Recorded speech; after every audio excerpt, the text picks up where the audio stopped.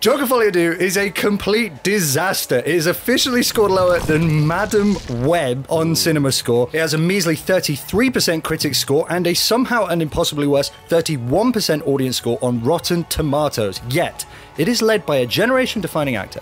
It immediately follows the once highest grossing R rated film of all time, and it had a budget of $200 million. So, what the f went wrong? What went wrong? I've done some investigating, read Oh. hundreds of critics' reviews, and analysed the film in detail so that we can get to the bottom of this case.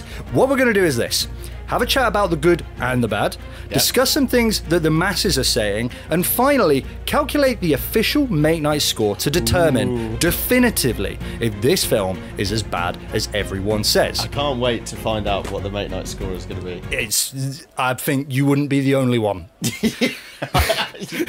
sound convincing. So, Fred, what is Joker 2? An exercise in self-indulgence, masquerading as originality. Oh, that's scathing. Talk didn't to mind it. So uh, no no I think I think I can see where it's come from, but elaborate.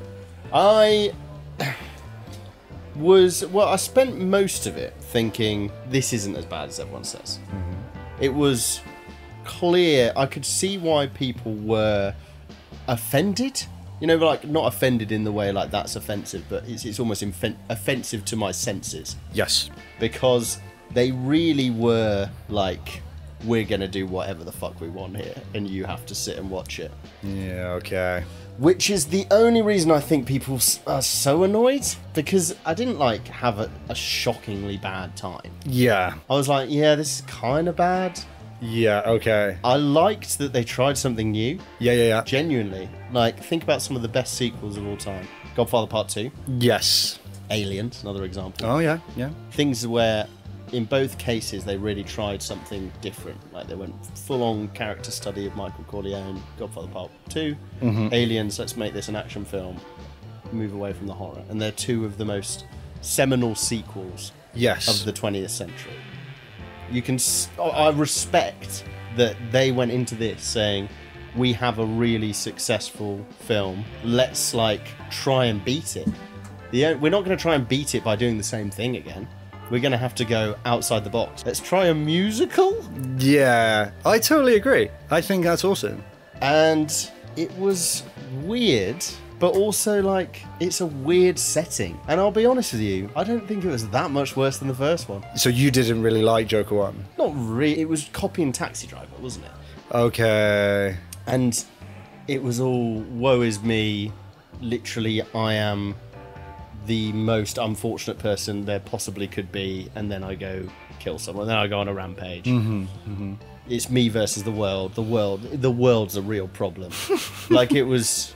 That's kind of self-indulgent as well. Yeah. And then there was the in the original. I won't spoil Joker Part Two. I'm going to go into Joker One, which I already did because I said he killed someone. But if you're listening to Joker Part Two, surely, come on, Probably watch Joker. Watch One. Joker One?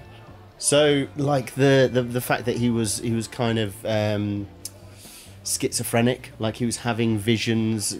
It, it turns out it was all like a big that? twist.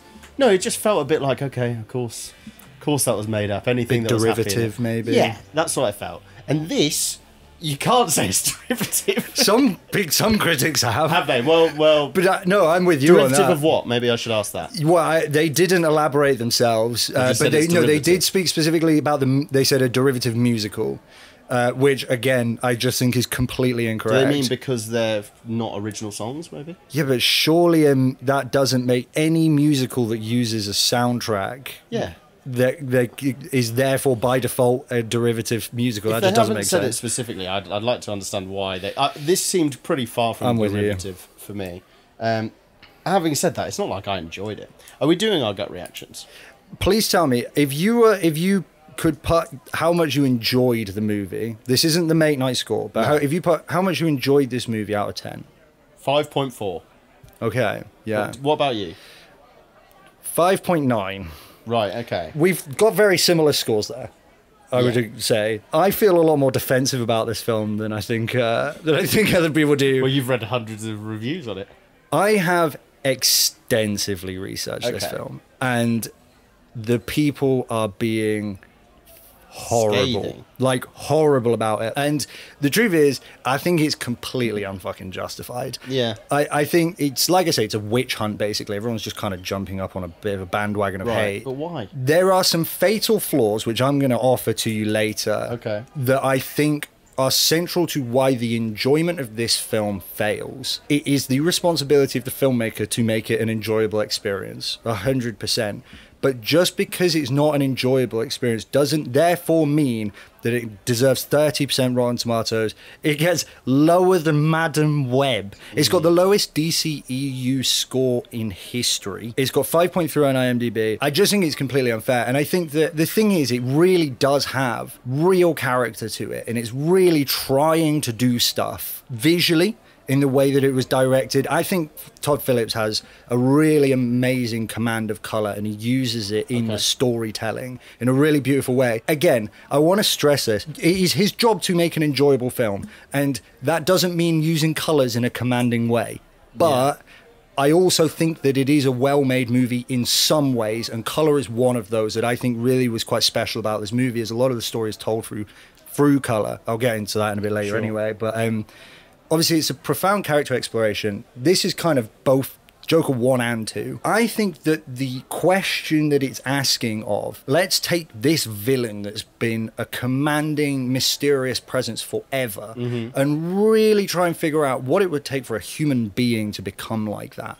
I think that's a really cool thing to do. Like, I'm really grateful that they did that because I always see the Joker and I'm like, that's a really cool character. I want to know more about him. And this is exactly what they're doing.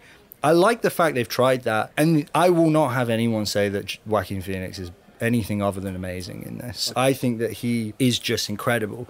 It's made some very bold decisions. Yes, some of it didn't land, but if we want good cinema, we need to be forgiving of failed boldness and ruthless with effortless mediocrity. Deadpool and Wolverine got 7.9. This got 5.3. That is completely ludicrous. Deadpool is an insult of a film. This tried as hard as it possibly could and failed. Oh, that's such a good point. It really is something that should be not championed. Look, it is a failure. But the, the vitriol and witch hunt, which I'm glad I avoided, hmm. because I purposely went into this, it, it was inescapable hearing that this wasn't doing well and people weren't enjoying it. And I went into it trying to avoid as much as possible Yeah. to have a blank slate. And immediately I was like, "Th- does something happen that makes this bad? You say there are some choices and there are narrative moments that I didn't agree with. Yes. Not just with the style, but story points where I was like, oh, uh, that kind of is a bit bad. Yes. And the overall thing that they went for, I do think failed. Yes. We, I can say it's the musical element. That's not a spoiler. Most people know that it's in some form musical. But outside of that, It's it not was that fine. Bad, it's, like, it's not like Yeah. it didn't. uh, It wasn't offensive to me in any way. I heard arguments that the original Joker was essentially for comic book fans very frustrating because they kind of Yeah. made a taxi driver in a comic book setting and it goes against the um, the universe, the canon. canon. That's the one.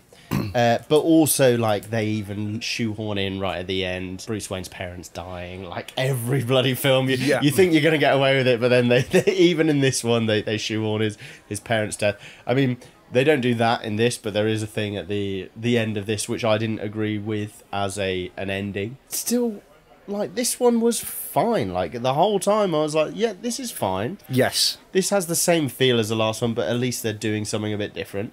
Yeah. Yeah, it's weird. This is a weird character. and maybe I don't enjoy it, but also I don't see why it's been completely drawn through the mud like this. So I want to understand, Yeah. as someone who did decide to really delve into the weeds, what did you find?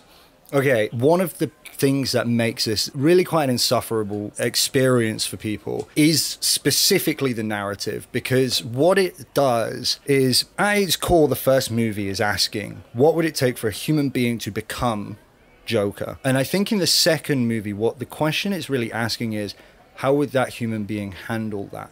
And so, on the face of it, the plot is love stories, courtroom dramas, all that. But actually, the plot is really about Arthur versus Joker, and it's all a character There was, exploration. there was some real kind of on the nose Jungian references. Absolutely. But it gets confused when they made it. And what happens is the tangible material plot that is used basically to keep something moving whilst we explore this character, which is the courtroom stuff and all the love stuff and all that, hmm. has a deeply dissatisfying conclusion that effectively feels like it's gone absolutely nowhere. Hmm. And Yeah, so okay. people have spent two, two and a half hours in a really miserable environment with a really unsatisfying way to conclude what it's concluded. I'm not going to give any details, but, Hmm.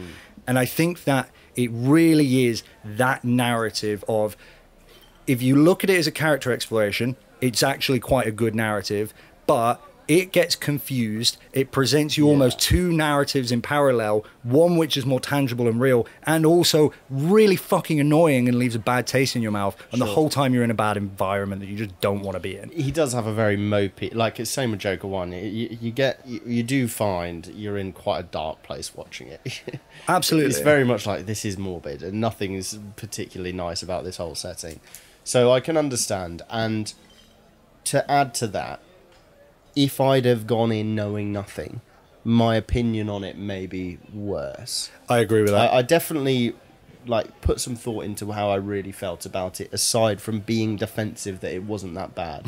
when I decided to give it a five point four, like if I, I didn't want to be purely gut reaction for this. I wanted to be like, okay, if I just watched this and I hadn't even heard anything, I probably would have enjoyed it a bit less. I'd have been like, this is dumb. Why have they done that? But it's the fact that all I've heard about is how this is this is an absolute aberration. People hate it. But you're like, right, okay, is it? now the ending, you make some good points. Like uh, it does, it does derail, and even at this point in my watching it, I was like, I'd, I had spent a lot of time justifying situations and being like, this isn't that bad. I, you know, what? it's kind of shit, Yeah. but it's fine. It's fine. It's fine. It's fine. My thought process was that. And then near the end, I was like, okay, it's getting a bit. Yeah. Getting to the point where some of the points you made are valid, and the way they went about it, even even a a apologist could see. Yeah. I It's think you're absolutely working. bang on. Even as somebody who wants to defend this film, I still want I I still have to concede that plot wise it was a mess. And there was just a real it was trying to be too clever, I think, with the narrative. And we're doing 12 Angry Men in an episode in a couple of days, so check that out if you're listening. Mm. And one of the things that it does so well, I think, is it has it just has a brutally simple plot. It's like here are the stakes, here's the beginning, Yeah. here's the middle, and then here's the end in 90 minutes. And what Joker 2 does is it goes, okay, so we're going to have this, and then we're also, but we're also going to have this, but don't forget about this, and then we're going to try and do this character thing, and then we're going to have like a love, and then a courtroom, and then like a, and you end it, and you're just like, where the fuck did any of that go? Like, You make such a good point. That to if you strip down how basic the actual sequence of events is, you get to a point when you're about at the hour and a half mark, which, as we both know, perfect. that's when you should be Per- finishing perfect films. film length. But you get to the point where you. Th- I, I remember checking my my what, uh, checking my phone to see what time it was, thinking we must be nearing, and then being like forty five minutes, thinking, man, that is a bit tough. That that's a bit tough to bear. Yeah. It wasn't like Trap where.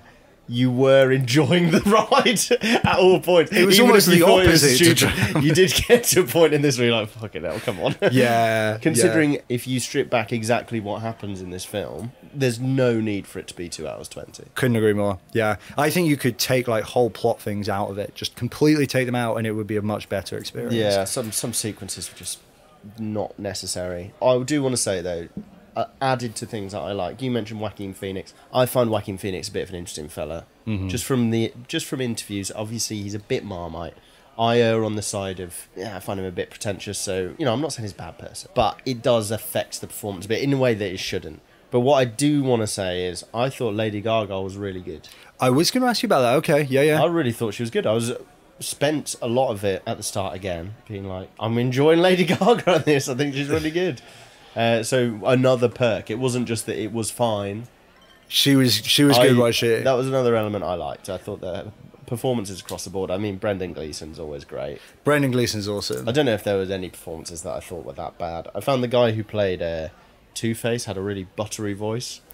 Yeah, okay, Harvey Har- Dent. Harvey Dent. A lot of people didn't like him. Mm, Yeah. and what do you think of that thing?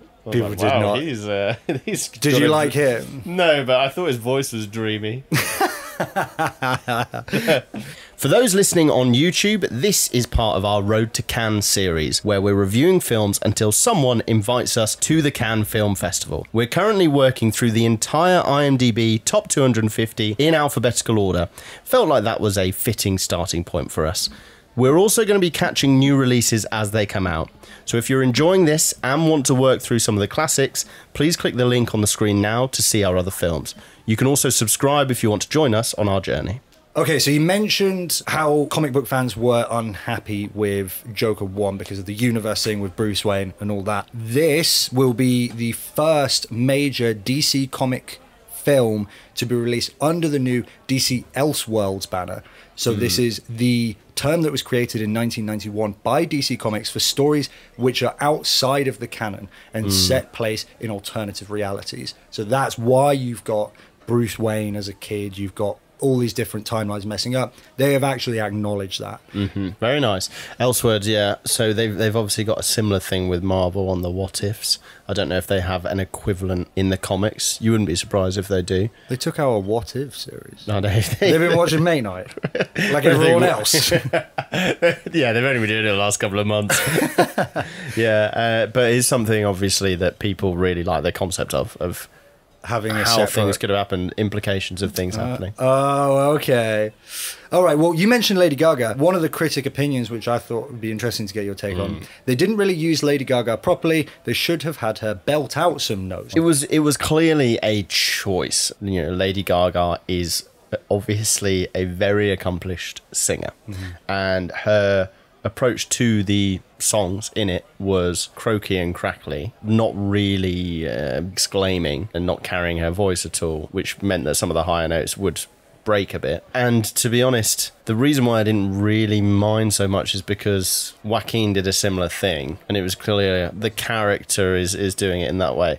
I think that it was weird enough that they shoehorned a musical into this. If they'd have then had Lady Gaga fucking belting, belting out these songs, and Joaquin Phoenix just like either going for it. Well, the the only options there would be Joaquin Phoenix to be painfully below par, or maybe he really goes for it and be painfully below. painfully below par. So what he did in this case was it was like the character obviously can't properly sing. Yeah. He's just gonna kind of have a go at these songs. Yeah. And Lady Gaga also, although she was more tuneful, was kind of holding back clearly. Yes. But there were a couple of instances where she did go for it, and it, it almost carried a bit more weight. Uh, the I can't remember the exact part because I only watched this once, but so there's a, one of their duo songs, the, the last one. It's it's quite a climactic part of the film for the characters. She does go for it on like one of the last notes, and you I remember thinking, wow, okay, cool. It's cool that she's she's had a chance to really put her all into one. Well, I tell you what, I think that really kind of highlights what I think probably the second and kind of the only other real big problem with the movie was they kind of did a musical and they also kind of didn't a musical. And yeah, it they was pussyfooted really- around a musical, didn't they? And I think that really the thing that bothered me the most, the music was taking place within the universe mostly. Yeah. And the actors would begin singing before any music came in. And because they aren't singers and because it's not obviously a musical, you kind of forget that it's a, mus- a half musical.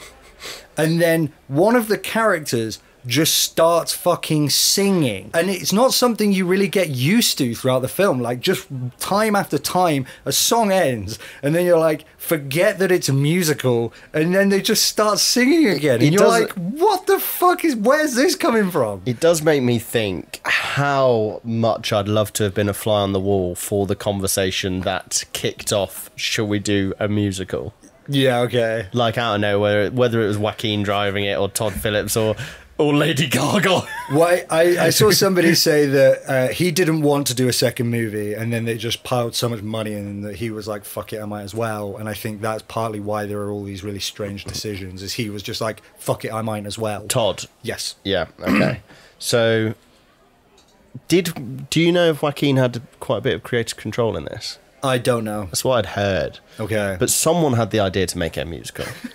Who was it? But this is the thing. Do you reckon they brought Lady Gaga in just as an actress and she just started singing all their and they're lines? like, oh fuck! No, I know that they didn't because I know that Lady Gaga was giving Joaquin Phoenix notes throughout it because he was shaking. He was so nervous about singing in front of all these people. So thank God the movie did so well because you know that would really destroy his Yeah. confidence if people were nasty about it. you know, taking risks like that and seeing the reward for your endeavours. Oh, bless him. Um, Joaquin Phoenix. I thought he was really, really good in it. Here's why. I'm not. It's not often that I will comment on acting because I don't really feel confident doing it. But I think that. So some reviews have said Joaquin Phoenix is not as good as the first one. And I think that's so unfair because hmm. maybe he's not, but he's still incredible. There are a lot of actors who just struggle to do happy or sad or hmm. angry. And he has scene after scene after scene where he will have to be simultaneously hysterically laughing whilst trying to swallow it, whilst being embarrassed, whilst looking miserable or heartbroken or desperate. And then, literally, in the same shot, will have to pull a whole new deck of emotions out and pull those off. You can't finish this film, and the only thing that you can say about Joaquin Phoenix's acting was is not as good as the first one. That's so unfair. Such a cop out because I just think without any substance of why you feel like that, I just don't know what you what your reasoning could be. He is phenomenal as the Joker. Like that laugh cry that he does it's horrible. is a like incredible. Like how he manages to do that. Um, whether you like the character or not, I guess it's more. He's morbid as fuck. Yeah, So, yeah, yeah. Maybe he brings you down. but saying your comment on Joaquin Phoenix's acting Is is and this- worse. the- my- yeah, I don't know. I think that's just lazy. Just think- another reason for people not to like it. and that's exactly where I think a lot of this stems from is it is a massive witch hunt. It's not a good film. I think it's a 5.9, maybe up, maybe lower. It's hard to say for for sure, but it is not as bad as people say it is. It's just so totally unfair. And that, to be honest, his pretentiousness, which I mentioned to you, part of the reason I'm ambivalent towards him is how he comes across. That probably doesn't help. You're almost certainly right. Like Yeah. people, you, the worm turns so quickly, the court of public opinion, and it can go from. He did a very famous interview on David Letterman, and I, I don't want to butcher the facts on this, but he had a reason for doing it this way. I think it was something to do with one of his brothers being very publicly shamed. There was there was a big The media press were really circus horrible to his brother, weren't something they? like that. And then he went on David Letterman and had like this excruciatingly awkward interview purposefully, and he was just horrible to like. It, it's really horrible to watch. I've tried to rewatch it. I struggle with awkward. That's one I can't do. I really struggle with awkwardness, and yeah, it's it's d- just terrible to watch. It's not nice. And then it turns out he was just doing it as like a bit to As just publicity stunt. Yeah, publicity stunt around. You know, you guys have been horrible, so this why. So that happened. People obviously think he's he's being an arsehole. And then oh no, he's actually being righteous, and then he's being self-righteous, and then he wins an Oscar. And people are like, oh yeah, he's the best thing since sliced bread. He can be rude to people if if they're being obnoxious and asking questions. And now it's just, oh, it's our turn to find him annoying again. Yeah, you can't take. You, you always do, and I don't mean you, but everyone always do take how much we like the person into account when we assess their acting ability. But you shouldn't. Like, hmm. yeah, he is annoying and pretentious and weird, but at the end of the day, when you sit down to watch Joker, fully I do. You need to just assess is he doing a good job, yes or no? I feel like people say that Henry Cavill is better than he is because he's so likable. Like I don't think he's that Oh, good at yeah. acting. Like I, I don't think he's terrible. He's perfectly fine. But he's just the best. But he's just so likable. Everyone's Oh, like, "Yeah, he's a great actor," and it's like, mm, I don't think I would go that far. Uh, to be fair, I don't see much. I, I've not seen people say he's a great actor. I've seen people say he's the perfect Superman. Yeah, that's. I fair. will agree that I've never watched Henry Cavill in something and thought, you know what, Henry Cavill really is great in this. He's just like so handsome. He's- He's, he's so handsome and nice, gorgeous. and he's an, and he's like a, a geek and loves Yep. games. And Yep. if you watch his interviews, he is like Yeah. so smart. He is, and he's so likable, and he's so down to earth. Um, if you're listening at this point, I'm. We're not going to go into spoilers. We won't ruin the film, but if you really want to keep this film completely fresh, you might want to dip out here because I do have a couple of specifics that I want to ask Fred about. Steve Coogan's character and performance. What did you think? So he's not lampooning, but he's doing a bit of a uh, 60s to 70s Grilling reporter. Grilling. Yeah, reporter grilling, but also the the accent he's doing is sort of like Walter Cronkite, newscaster of that time. Um, I thought it was quite cool seeing him because I didn't know he was going to be in it, uh, and he's such an adept impersonator. Like even though he's going for a caricature accent, he's so on it with them that you you just like seeing him. Did you have any anti feeling towards him I think just because I'm so used to seeing the characters that he plays, Mm. it felt a bit weird to me. I don't think he did a bad job of it. I just think can it was a weird choice to put Steve Coogan there. It was a bit like with Dune and uh, Christopher Walken. Christopher Walken. It was like, why have you picked him for this role? Like, this is such a morbid film. Yeah, you put Steve, you put Alan fucking Partridge in it. For for the American audience, though, obviously Alan Partridge isn't famous. Some people know Steve Coogan because he's in a lot of stuff, but they might not know him by name. I, I don't think it'll be as jarring for them. Okay, the term folie à deux given to the Joker sequel comes from the 19th century French psychiatrists, and it means the Can madness of two. What does it mean? Madness of two. Holy shit! Do you speak French? So the uh, obviously that's referring to Harley Quinn and Joker, Arthur Fleck, Arthur Fleck. is, and the relationship that those two guys have. Okay, it's time to settle if this film justifies the hate. The score it has on IMDb is 5.3 out of 10. Mm. We're going to visit the Mate Night Machine, where we will press some knobs and twiddle some buttons, and it will spit out a final score, which, as everyone knows, is never wrong. certainly hasn't ever been before. never has, never will be. Never will be. So we'll be back in a minute. Okay, let's go. Oh, well, there we go. That's oh, Whoa! what an adventure! Jesus Christ, man. That was a folie à deux if ever I've seen one. So we have returned from the Mate Night machine. It has spit out a number, which you know what? It's- I just, I'm just the sound Spit out effect. that I'm just Hot damn. so IMDb gave 5.3 out of 10. We have put it into the Mate Night machine. We have come out with a final score to determine if we think that that is a fair score. So, And IMDb, let's let's be f- reasonable. Will go lower as well. without further ado, mm-hmm. that was a really funny joke, that Fred. you just completely ignored it. What? Without further ado. Oh, it was a joke. you like just stared at me for so long. Like, he's just not Without fucking. folly ado. Yeah, nice. Wi- Without further ado, the Mate Night Machine has Let's given. Joker 2 a final score of 6.14 out of 10. Mm, very fair. I You mean, know it's, what? it's always right, isn't it? It's always right, and I think that for a quick closing statement, this film was miserable and insufferable and just a not a nice experience, but there was some great performances. Mm. It was directed reasonably well. There Yeah. was some there was some good song choices. They went for something. They They tried. really something tried something. Yeah, I th- I think what you say self-indulgent, I say trying something exciting and fun and new. Thank God it's not just another commercial fucking money maker, which it- it definitely could have been.